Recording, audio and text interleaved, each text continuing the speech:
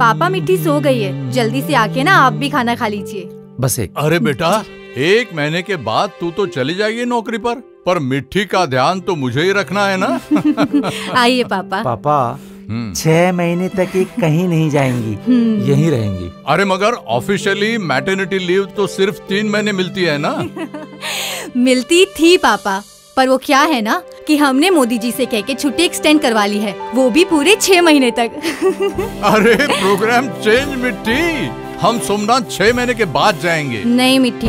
जब तक तेरे दादाजी घुटनों का ऑपरेशन नहीं करवाते वो कहीं नहीं जाएँगे। क्यों पापा? अरे अगले साल? अगले साल करते करते तीन साल लगा दिया आपने पापा। लेकिन अब नहीं। अच्छा? देखो पापा हम्म। गवर्नमेंट ने वो महँगे महँगे ऑपरेशन के रेट खटाक से काट दिए। हम्म। तभी तो ऑपरेशन आधे रेट पे होने लगा है।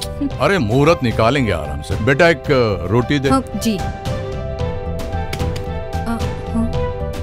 अ, पापा ऑपरेशन की डेट तो हमने ले ली है।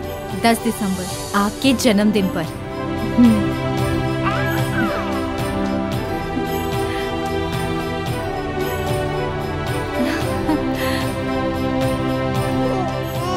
अरे मिट्टी! अरे अब तो तेरा दादा भी दौड़ेगा मिट्टी।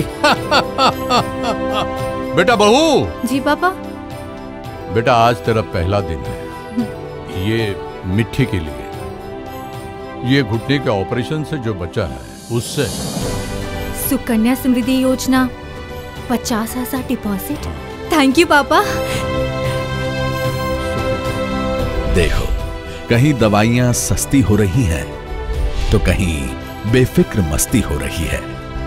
कहीं बूढ़े घुटने फिर से जवान हो चले हैं तो कहीं बीमार दिल फिर से दुरुस्त हो लिए हैं। कुल मिलाकर, हमेशा टेंशन में रहने वाला मध्यम वर्ग अब खुलकर जीने लगा है। तो चलिए, इस शक्ति को तरक्की में बदलते हैं।